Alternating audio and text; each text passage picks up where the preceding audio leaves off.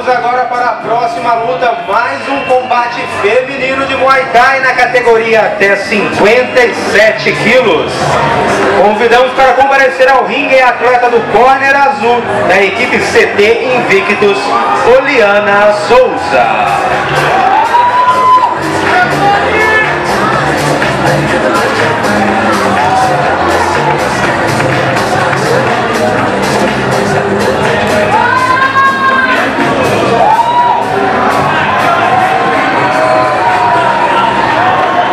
E a sua adversária no corner vermelho da equipe FTBH, Carla Yasnara.